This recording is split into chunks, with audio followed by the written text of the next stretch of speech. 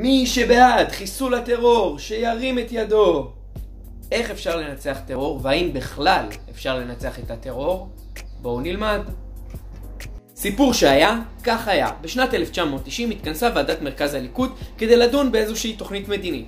את התוכנית המדינית הציע ראש הממשלה דאז, יצחק שמיר. אריאל שרון לא כל כך אהב את התוכנית המדינית, ולכן בתור ראש מרכז הליכוד, הוא ארגן שהעוזר האישי שלו ישלוט על מערכת ההגברה. ברגע שיצחק שמיר ניסה להעלות להצבעה את אותה הצעה מדינית, עוזרו האישי של אריאל שרון הנמיך את הרמקולים שבהם דיבר יצחק שמיר, והגביר את הרמקול של אריאל שרון, שצעק מי שבעד חיסול הטרור, שירים את ידו. הדבר נודע בשם ליל המיקרופונים. האולם נוצרה מהומה גדולה. אי אפשר היה לדעת מי מצביע בעד התוכנית של שמיר ומי מצביע בעד שרון, ולכן ההצבעה נפסלה. אבל הטרור נשאר איתנו עד היום, וגם בימים שבהם אריאל שרון היה ראש הממשלה.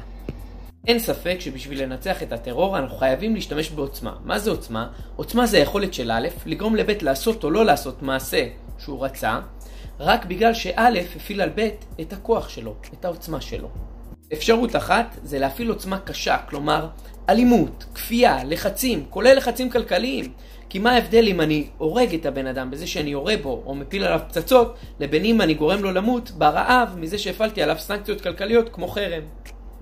אפשרות שנייה זה לפעול באמצעות עוצמה רכה, פיתוי, שידול, לחצים פסיכולוגיים, איומים, אבל לא עם פגיעה פיזית. כשאני שואל בכיתה איך לדעתכם אפשר לנצח את הטרור, תמיד התלמידים נמשכים אל העוצמה הקשה, אל האלימות, ניכנס בה עם אמא שלהם. אבל בואו נחשוב על זה קצת יותר לעומק. האם אנחנו הורגים יותר מחבלים מאשר אנשים שעוברים שטיפת מוח אצל האימאם במסגד למשל? איפה יש יותר כמות של אנשים? זאת אומרת, לא משנה כמה טרוריסטים אנחנו נחסל, יש יותר טרוריסטים פוטנציאליים שמתרבים מדי יום. מצד שני, פיתוי, שכנוע, שידול, לוחמה פסיכולוגית, זה לא מה שיגרום למחבלים האלה למות והם יוכלו להמשיך לפעול. אז מה עושים? מכאן המסקנה שכדי לנצח את הטרור אנחנו חייבים לשלב בין העוצמה הקשה לבין העוצמה הרכה, מה שנקרא עוצמה חכמה.